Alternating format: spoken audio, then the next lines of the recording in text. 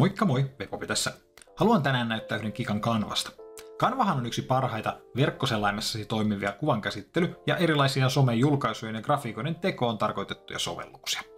Mutta tiesitkö, että sillä voi tehdä myös meemejä? Kanvasta löytyy nimittäin itse aika hienot työkalut erilaisten meemikuvien rakenteluun. Puhuttiin sitten klassisesta ylä- ja alatekstistä tai jostain muusta. Katsotaan, miten voit tehdä meemikuvia kanvalla ilmaiseksi. Kun olet Kanvan etusivulla, valitset täältä hakukenttä. Älä siis lähde luomaan uutta designia tai mitään sellaista, vaan valitse nimenomaan hakukenttä. Syötä tänne hakusanaksi meme. Paina sitten enteriä. Älä valitse valmiista hakutuloksista tuossa valikon alla, vaan nimenomaan meme ja paina enteriä. Täältä löydät erilaisia meemipohjia, mitä voit lähteä käyttämään. Esimerkiksi haluat perusmeemi, missä on ylä- ja alateksti, voit valita täältä vaikkapa tämän kissan kuvallisen version. Voit luonnollisesti vaihtaa sitten tekstit sekä sitten tuo kissan kuvan. Löydät myös muita formaatteja, kuten esimerkiksi kaksi kuvaa ja tekstit rinnalla, tai kaksi kuvaa tekstit alapuolella, tai sitten klassisen yläteksti ja sitten alla kuva tai kuvia tyyli. Näitä löydät täältä useampia. Kaikissa näissä kaikki elementit ovat vaihdettavissa, joten näitä on varsin helppo käyttää. Napsautan tästä nyt esimerkiksi tällaista ylhäällä teksti ja alhaalla kuvamallia. Ja haluaisin tehdä tästä oman meemikuvani. Tätä käytetään tietysti seuraavasti.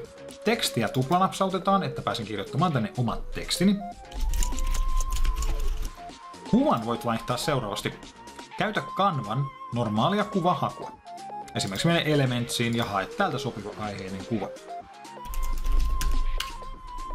Kun olet löytänyt sopivan, älä napsauta sitä, vaan raahaa se nykyisen kuvan päälle ja pudota tänne.